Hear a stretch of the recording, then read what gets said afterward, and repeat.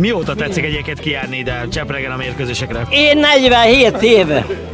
Mert azóta lakok Cseprákban. 41-et meg laktam Tömördön. Számolja ki, annyi idős vagyok.